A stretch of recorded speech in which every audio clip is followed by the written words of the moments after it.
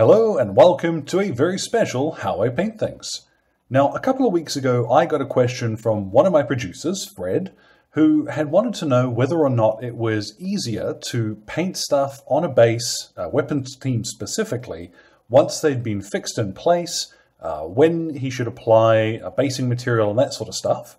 And I gave him an answer at the time, which was based mostly on what I had been doing. But today, I've tried one of the suggestions I gave him, and I think this turned out way better. So, Fred, this one's for you. and if you've never come across metal weapons teams before, like say you're coming over to Bolt Action from, I don't know, 40k or similar, which has a lot of plastic miniatures, then these can seem a little daunting because the very first time you come across them, well, how do you handle a metal miniature? And it might sound simple to some of us who've been doing this forever, or who even remember metal devastators. that takes me back.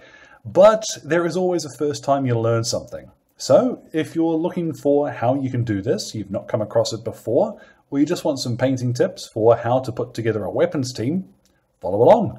As always, all of the paints will be listed in the description below. Let's get started. Now, if you've never assembled metal miniatures before, uh, a quick tip that I want to point you to. I have two sets of side cutters, or clippers, whatever it is you call them. And the reason being is I have one for plastic, and then I've got this slightly older, more heavy-duty looking beastie, uh, which has been absolutely murdered over time.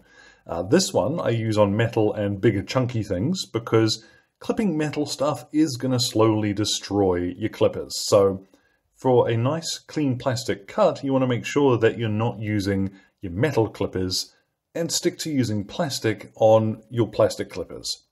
So first of all, let's get this open. Uh, as you'll see, it's not the most inspiring little baggie, but it does the job. So we'll tip these out now up close, we have first of all the MG itself and the tripod that it's going to be on. And you'll see that these are a bit of a mess when you first get them. These little extra bits of metal, uh, some of them will quite easily just wiggle off, but make sure that you're not pulling off anything important while you do that. As always, I do recommend either have the store page open because there'll be pictures of the kit itself there, or you can also use, uh, you know, go onto Google, do a Google image search for a 30 cal machine gun, and you'll find, oh look, there is what it looks like and what bits to clip off.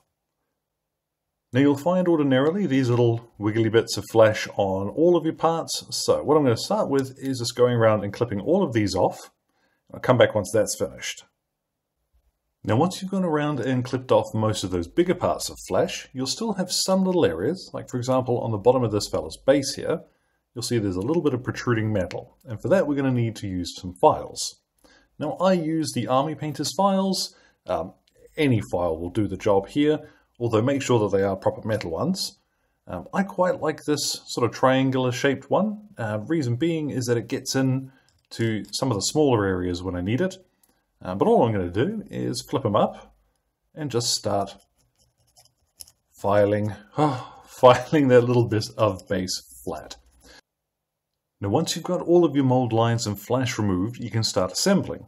And one quick note on these guys, a lot of the Warlord Miniatures games are going to have separate heads. And they've got these long pegs which count as a neck. And you'll notice that when you sort of just jam them in for the first time, you're going to have these strange alien proportioned guys with really long necks. What you're going to want to do is go back to your file and start grinding some of this down, test fitting, and so forth. All right, really take your time with this one. I tend to find filing the uh, the neck joint quite narrow and then blunting it a little as I go to make sure that the fit is secure is the way to go. But once you've done that, you can super glue them in. So let's take a second here. As you can see, that's quite a lot narrower than it was. If I test fit that into the loader's uh, neck there, that gives me a pretty good pose because I want him to be looking up towards the MG he's feeding. So let's go ahead, pop a little bit of super glue in there, and I will do this same thing to the other two guys as well. Now once you've got all three of you fellas assembled, it's time to make some decisions. Now because Bolt Action uses a casualty removal system where you take off models when they are killed, Uh, some folks like to put this loader on a separate base. But the problem with that is, at least from my perspective, is once you've got your other two guys, let's just lay these out, attached to the base like that, this fella, you know, you can leave a gap for him at the back on his little separate base and not put any basing material there, like no tufts or what have you, but it does look a little strange. Now that's how I've assembled one of my MG teams, but I am going to do this one differently, and I want all three guys on this one base. Now, really, the point of one of Fred's questions was, well, if we glue them all down like this, then how do we do the basing? How do we paint in areas that are difficult to reach, and so forth? And this is where I'm probably not the best person to ask, because if you know me, uh, if you can't see it, don't paint it, is pretty much my motto, but I know that doesn't sit right with some. Uh, what I am going to suggest, though, is if you do want to paint these guys and make sure you're going to get to all of the separate bits, what we'll do is this. So the first thing I've done is to glue the actual MG to the base where I want it to be, because it's going to be the most fiddly part to have to glue back on later. But I've now got some Blu Tack on an old cork, and what I'm going to do is just pop these fellas straight onto there for priming and painting. And with that done, suddenly this becomes a painting exercise instead. Now, it's up to you whether or not you put basing material on this before you attach the guys. Um, I would suggest that if you're going to put sand or anything on there now, now is the time to do it before we prime them. Uh, there will be one or two assembly steps later on where we're going to have to account for the fact that they are going to be a little bit off of the ground because of how we've done that sand, but it's much of a much. So I'm going to pop some sand on here, go out and prime these, and then, like I said, becomes a painting video. Now, first of all, I've hit all of them with a primer of Wraithbone. Um, now I've come to really like using that. It's just a little off-white. You'll see there's some creaminess to it. So it works really well if you have slightly thinner paints and you end up with some of this showing through. It works for regular paints the same as it does like Citadel's Contrast. Uh, you'll have to trust me that the third fella is primed as well. But the first thing I'm going to do is actually not to paint them. I'm going to put these aside. And the very first thing we're going to do is to base the MG itself. So I've gone and primed that in the same color as everything else. I am going to paint it black, but whatever. it can be bone for now. I'm just laying down a layer of PVA glue. Um, I keep mine watered down in the pot itself, so it's always good for basing. And then once I've got this down, holding it very carefully, I'm just going to pop it in the top of my sand and shake that a few times until it starts to pick up it's probably not the best way of doing it. Let's just dip it in there. There we go. Cover that with sand. Now, honestly, you can leave it in there, but I'm going to pull it out and we'll just tip most of this off. Give it a quick tap from the bottom. And there we go. There is the basic material on our MG stand. So what I'm going to do is put this aside, and by the time we're finished painting, that's going to be nice and dry to put other stuff on top of. Now, because I've painted US infantry a few times on the channel, uh, I'm going to go through these fairly quickly. So we'll start off with German camo beige, and this is going to be for their jackets. You'll see how easily this covers over that Wraithbone. I love it. Now with all three of their jackets done, we're going to move on to their trousers. And for two of them, I'm going to use US Field Drab. Now, I've spoken a few times about how the uniform would change over time, and if you're doing sort of post Sicily, you know, into Normandy and what have you, it helps to have a couple of guys in green, which we'll touch on in a second. But for now, let's get brown on two of these pairs of trousers. And then for lucky number three, I've got Russian uniform green, which is kind of ironic, but it's the best color I've found for doing these trousers. And we'll just paint this on. Some folks will suggest that US dark green is the way to go here. Um, I tend to find it, ironically, a little too dark. But if you do like that finish, then you can use that instead. It's not really a 100% correct answer here. Uniform isn't. And once you get field conditions involved, you know, mud, sunlight, all that sort of carry on, a little bit of variation is not going to be a bad thing. And we're going to move on to painting their webbing, and following the same principle, we're going to pick two guys and do their webbing in dark sand, which is a nice light yellow color. And then for lucky contestant number three, we're going to use pastel green for a lighter sort of faded green one that was introduced later in the war. Now, generally speaking, if you want your guys to be, you know, a little more fresh or a little late war, then the more green they should be overall. Uh, but that yellow stuff was being issued all the way up until the end of things. Now with those stages done, we're back to everybody being painted in the same colours again, which is nice and useful. So I'm using Cadian Flesh Tone from Citadel to paint in their skin. And you can use anything you like here, of course. It's just this has got a little bit of a sort of pinky reddish tone to it that when we shade this, this is going to come out really nicely. It also covers brilliantly over Wraithbone. Now I'm doing this now because when it comes to faces and what have you, you can paint up. And if you hit the helmet, oh well, too bad, too sad, never mind, we haven't painted that yet. So let's just go around now all three of these dudes in Cadian Flesh Tone. And then speaking of those helmets, we're going to use Camo Olive Green to paint those in. And you'll find you probably need to apply two coats of this, because you will get some of the uh, primer showing through. And as well, I'm going to paint the ammo canister in this as well. Now for me, when that green goes on is when they start looking a little more lively. Now I've got some Retributor armor, and I'm doing this at this stage really just so that I don't forget. And I'm going to paint in the MG rounds. Now I'm going to paint in the whole thing, but we're going to do a little strip of khaki down the center later to represent the cloth belt, which would have had them together. Now we're reaching the point that we're just doing some detail parts. I've got khaki, and I'm going to paint this into the strap on this fella's M1, and we'll also do a thin strip of this down the center of the MG belt. So let's angle that as best I can and just... If I make a mistake here, I can go back and straighten up with a little bit of Retributor armor again. Now speaking of straps, we're going to use mahogany brown as our sort of red leather color. And I'm going to paint in the holster on the gunner here in this leather color. Um, and then I'm going to switch to a smaller brush and we'll start doing in things like the straps on helmets and also the strap on the loader, sorry not the loader, the ammo carrier's Thompson. Make sure you're doing that in leather too.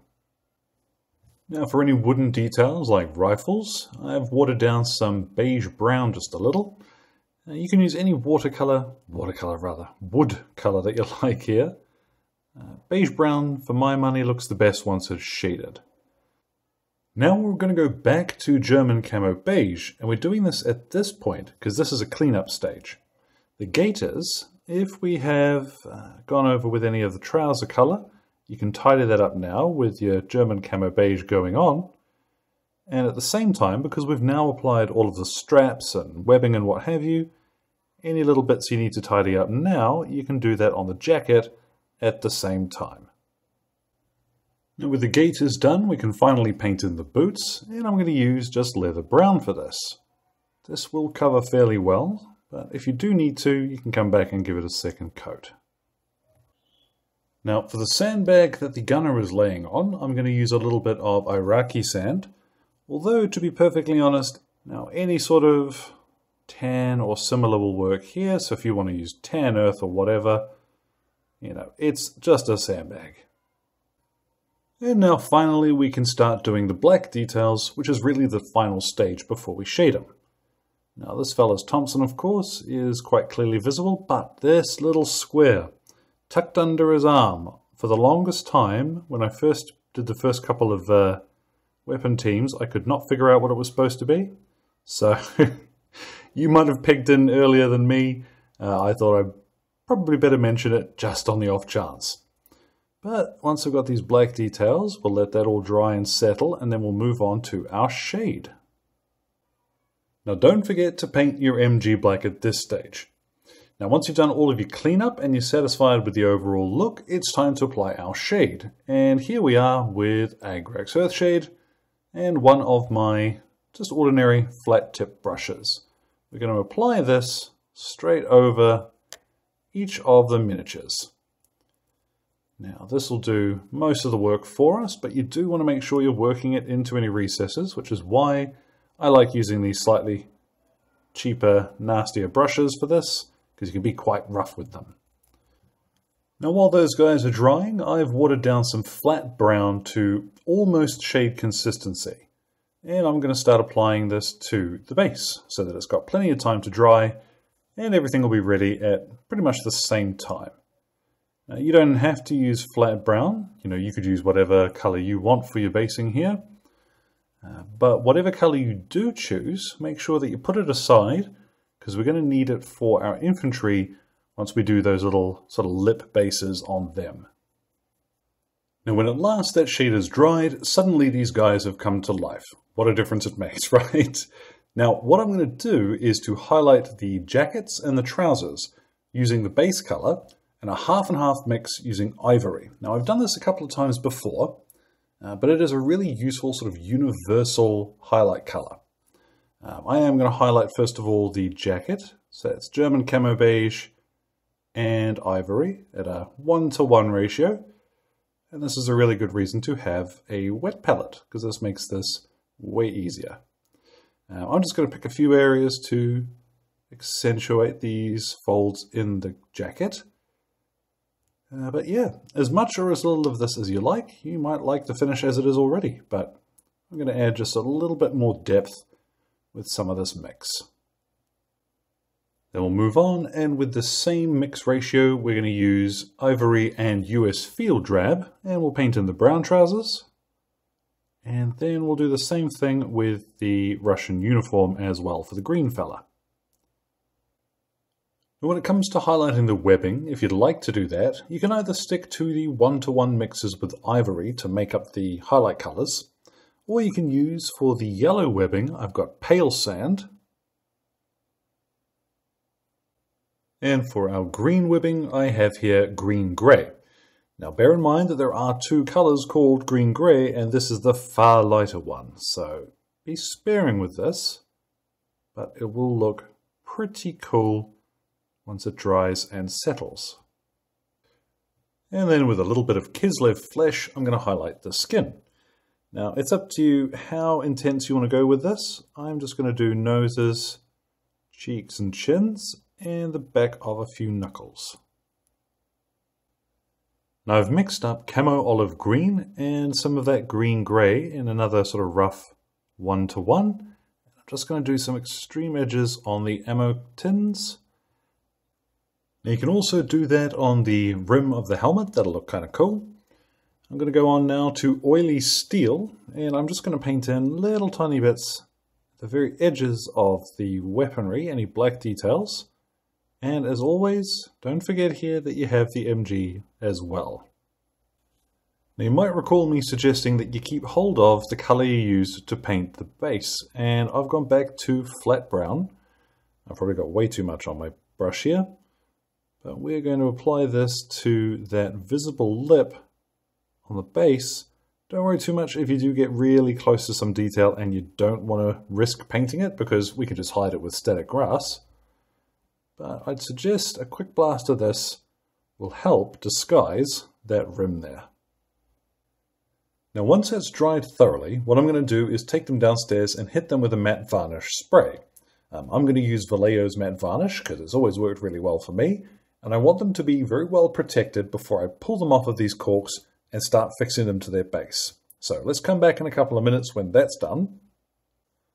Now while those guys dry, I am going to quickly dry brush some dark sand over the top of my base here. And you'll see that starts to improve the look quite a bit. Now once your varnish has had time to dry thoroughly, and I recommend leaving it for at least half an hour, but overnight's even better. I've got here the old glove, and the reason for this, don't make my same mistake. I've been handling grubby stuff all day. Uh, when you pull these off of your, your nice corks, you don't want to end up smudging them with horrible stuff on your fingers. All right. So glove on and let's just ease these off. Now, because it's so warm, I've got that Blu Tack stuck to the bottom there, but I can just peel that off in a second. Now, to attach them to the base, I've got some Yoo-hoo, or Uhu, depending on where you're from. Uh, anything like this will work. You could even use undiluted PVA, um, Elmer's wood glue, whatever it is that you've got near you. Um, I'm using Yoo-hoo because it's nice and sticky. And, oh goodness me, don't, don't go crazy while I'm trying to do this. Uh, but this has got a little bit of give to it. So it's really handy that I've got some time to work with it to get this fella into position. So let's just jam the gunner down. I've just popped the loader down there as well, and I'll put a little bit of this on the base, and I will set the ammo carrier, oh gosh, that's probably quite a bit. I'll set the ammo carrier at the back. Now, the reason I'm using this Uhu stuff is because it dries clear, which will be perfect for us. So let's just wiggle them around while that's still got a bit of give. Now Yoo-hoo is sticky and works within about 5 minutes. Um, I've left them here for 10. They do suggest it takes up to 24 hours for it to reach maximum effectiveness. So I'm not going to tip them upside down for much if I can avoid it. What we'll do now is start hiding some of this odd geometry. And I've got some PVA. And all I'm going to do is start adding some static grass. So let's put a few dollops of this stuff. Now I always find it easiest to work in segments when it comes to bases like this. So I'm going to basically finish up this area with a little bit of glue, rinse my brush off, and then over the tub, I'm just going to sprinkle this straight on. Now that's quite a lot of grass, so I'm going to tip it sideways and start gently tapping the base. I don't want to knock these guys off before that Yoo-hoo's dried. Now while your glue is still wet, you'll often find you can just blow lightly on the surface and it will stand up that, uh, that grass. So don't worry too much if you haven't got an applicator. I'm going to go around now the whole thing. Now a quick word from the wise, five minutes was not long enough. if you can, leave these guys overnight for that Yoo-hoo to settle. I'm going to use now just a couple of tufts uh, to just hide any remaining bits which I don't want to be visible. Uh, and then I'm going to apply some flowers. And then we'll just paint the rim of the base and we can really call them finished. So once I've got these tufts on where I like, we'll let all of that dry and then we'll come back and get a look at the finished product. Now there at last, our weapons team is complete and I have done about six or seven full-size weapon teams before by just gluing them to the bases and struggling to paint around them. But I have to admit, after having done it this way, that's my mind changed. I'm going to paint them separately like this and then fix them to an almost finished base. It's easy enough to be able to hide the little lips of those bases, uh, you know, integral to the miniatures, and I think once it's on the table, those are going to disappear entirely. I'm really quite pleased with that result. So thank you to Fred for asking about that because without that little nudge, I would probably never have rethought, you know, a technique I've been using for years. So thanks very much for that one. As well, thank you very much to Exit 23 Games for the light and sound equipment, as well as all of the patrons who are keeping me ticking in paints and glue, including my wonderful producers, Alan Nuttall, Kyrie Crawford, Trainboy, Jimmy, and Fred. Your support is invaluable, folks. Any questions or anything, feel free, drop them in the old comment box below. My Twitter and Instagram are both linked there too. So, thank you very much for your time, one and all, and you all enjoy the rest of your day.